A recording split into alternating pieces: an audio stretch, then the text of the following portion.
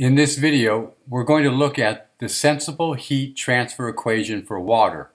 This is useful when trying to determine either of the three variables, BTUs, GPM, or the delta T. When you know two of these values, you can determine the remaining missing value.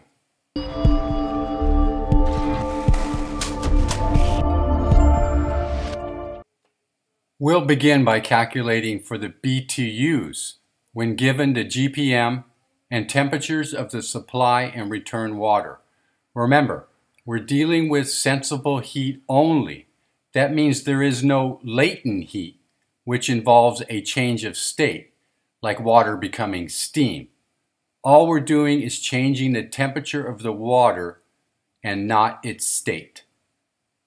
Looking at this heating hot water coil, we see that there is 200 gallons per minute of water flowing through this coil and the temperature of the heating hot water supply is 120 degrees Fahrenheit and the leaving heating hot water is 80 degrees Fahrenheit. With this information we can solve for how many BTUs are being supplied to this coil.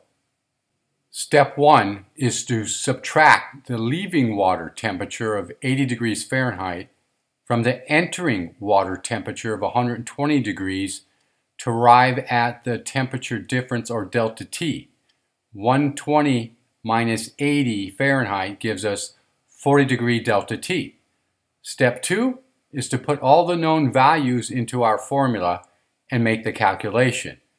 We have our formula of Q equals GPM times 500 times delta T. Now we enter our values, we get Q equals 200 times 500 times 40 equals 4 million BTUs per hour. Now we can quickly explain where the value of 500 in the calculation is derived from.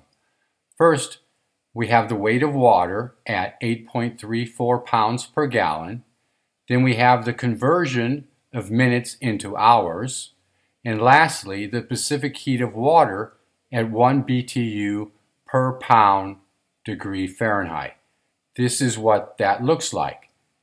8.34 pounds per gallon times 60 minutes per hour times 1 BTU per pound per degree Fahrenheit equals 500.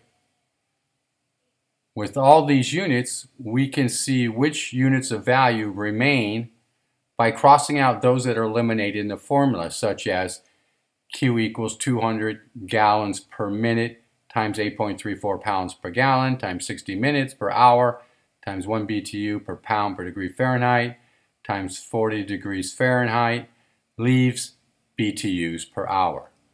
If you like that video, please give it a thumbs up and subscribe to our channel. Thank you.